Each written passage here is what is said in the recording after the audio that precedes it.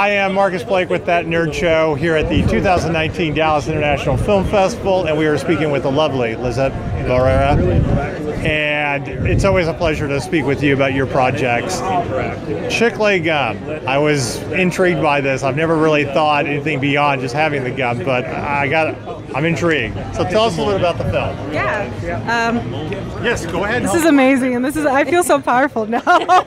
yes, Star Wars. Um, yes, uh, I think for the film, you know, essentially it's a very simple concept about a um, you know about a teenager who's just really afraid of saying goodbye to her grandfather, and so um, you know when uh, the strange friend comes in and accidentally puts gum in her hair, you know, forces her to go in and say goodbye.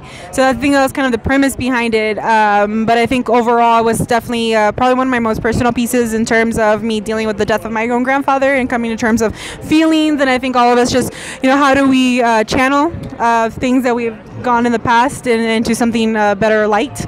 And so, like a lightsaber. So, uh, yeah, that's how the film came about. and then Hermelinda plays here uh, Dina slash uh, mother. Um, uh, our protagonist of the film. And uh, Mr. Pablo Esparza here plays uh, the grandfather um, in the in the film as well. So yes. I'm always intrigued by your personal projects and stuff. So, uh, what is next for this film? Where are you heading? What festival are you heading to next with it? That's a very good question. I'm still waiting back, so um, the festivals I would love to be in there. Um, I mean, we hope to sell it if we can. Uh, uh, my last project has been uh, been sold with HBO, so we're hoping you know maybe a platform can can uh, accept us.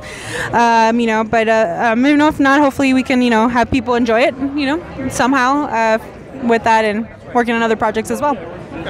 Um, I know you do a lot of shorts. Is this something that you could see as a feature down the road, or? Uh, yeah, um, for sure. My the this this world is definitely the same uh, characters as my last film. So there is something there that I'm dabbling with for the feature film that I will be doing called Mosca, essentially. Um, and I'm also working on another feature film too that is uh, set in East LA. So we will figure something out with that. All right. So, because we've interviewed you before, and we're not going to give you the regular question, I got to try to stump you a little bit. Before I get to that, my only little theory about Game of Thrones after last night's episode, uh, yeah. I don't want anybody on the. I don't want one person on the Iron Throne. I want three people. I want the Onion Knight, Tyrion, and the other guy. Those that scene with those three guys talking about matchmaking, like yeah, they should be on the Iron Throne. That's what I'm going with. Oh, definitely. Wait, wait, what? Talking so vaguely. Wait, wait, wait. Did I spoil? You, you've watched the I episode, watched the last one. but you you don't. Yeah, but the last night's episode. Right? Yeah, last night's episode. You don't We remember? there. We were just there. Yeah. Yeah, Tyrion and the Onion Knight. And all, they were talking about matchmaking with Jon and Daenerys. Oh, wait, wait. Were you talking about the waterfall scene? No. No.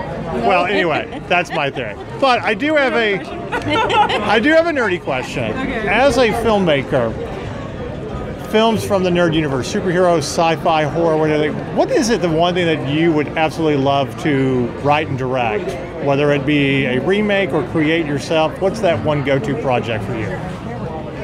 Well, to tell you the truth, I think I would love to see a Latina superhero in general. So for me, I would love to have that. Um, what she's doing yet, I think would be able to be in somewhat some form of like being invisible um, and being able to come in and be able to do things.